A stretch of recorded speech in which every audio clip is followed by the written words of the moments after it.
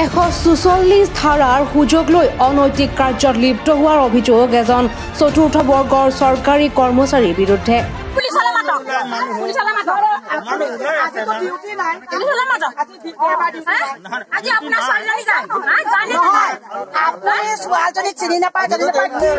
এই ঘটনা সংঘটিত হৈছে নগাঁও জিলাৰ জহলাবন্ধাত।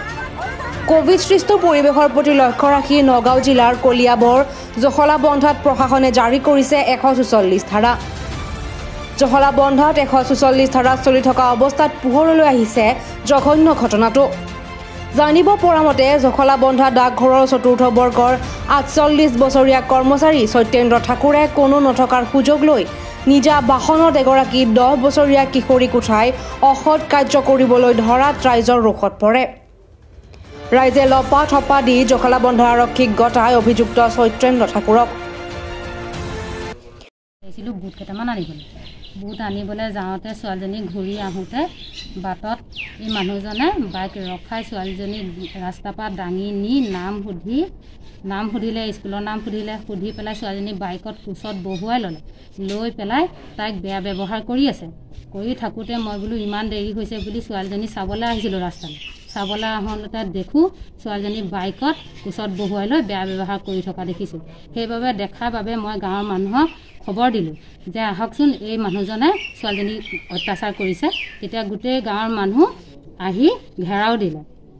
ঘেৰাও দিলে দি মানুহজন ভিতৰলৈও সোমাই যাব বিচাৰিছে আমাৰ। সোমাই গৈ মই বোলো এইখিনিতে বহকচোন মানুহজনে নবহে। বোলে হ'ব হ'ব এনেকৈ কৈছে। তেতিয়া মই মানুহজনক মাতিলোঁ যে আহকচোন আহকচোন। এই মানুহজনে দেখোন নবহে পোকৰে পোকৰে আহিছে। তেনেকৈ ক'লোঁ। ক'লতে তেতিয়া গোটেই জোনমণি চোনমণি চবকে ওচৰ চুবুৰীয়া মানুহক খবৰ দিলোঁ। খবৰ দিলতে আহি মানুহজনক ঘেৰাও কৰিলে। এশ চৌচল্লিছ ধাৰা জাৰি কৰা সময়ত আইন অমান্য কৰি অচিনাক্ত কিশোৰীক জোৰ জুৰুম কৰাত লম্পটজনৰ ওপৰত ৰাইজ খঙত অগ্নিশৰ্মা হৈ পৰা পৰিলক্ষিত হয়। আৰু পিছত আৰক্ষীক গতাই দিয়ে। এই ঘটনাৰ পিছতেই অঞ্চলজুৰি সৃষ্টি হৈছে তীব্ৰ চাঞ্চল্যৰ। আজি আবেলি চাৰে তিনিটামান বজাত ঢেকীয়াল গাঁৱৰ পৰা ৰাইজে আমাক ফোন কৰি জনালে যে এজনী সৰু কণমানি ছোৱালীক চিকনি বৰহোলা গাঁৱৰ সত্যেন্দ্ৰ ঠাকুৰ নামৰ তেখেত দখলাবনা পোষ্ট অফিচৰ চতুৰ্থ বৰ্গৰ কৰ্মচাৰী। তেখেতে সেই ছোৱালীজনীক অকণমান হাৰেছমেণ্ট কৰিছে মানে তেওঁক ধৰিছে ধৰি পেলাই কোচত লৈছে এনেকুৱা কৰা বুলি প্ৰত্যক্ষ কৰে। হয় তাৰপিছত তেওঁক যেতিয়া খবৰ দিলে আমি লগে লগে তালৈ গ'লোঁ। গৈ যোৱাৰ পিছত মানুহজনক তেওঁ তাৰ পৰা আমি উদ্ধাৰ কৰি লৈ আহিলোঁ। আৰু ছোৱালীজনীকো লৈ অহা হৈছে দুই দুজনকে মেডিকেল কৰা হৈছে।